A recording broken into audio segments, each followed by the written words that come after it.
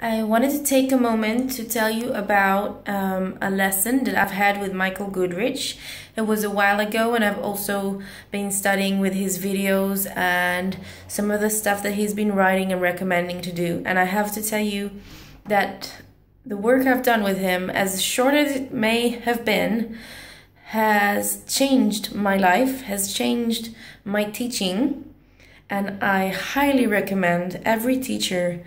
who or a singer who has been having issues with their voice, with their perception of themselves, and how they feel their voice is functioning or not. If you have, if you are teaching and you have clients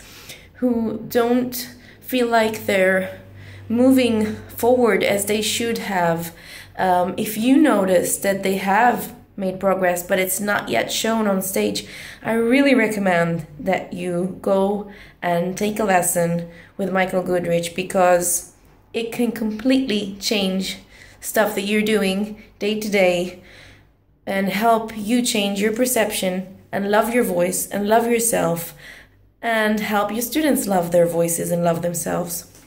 So, thank you, Michael Goodrich, and I hope you guys and ladies and guys all go and and take that lesson with him or go see his videos because it's worth it honestly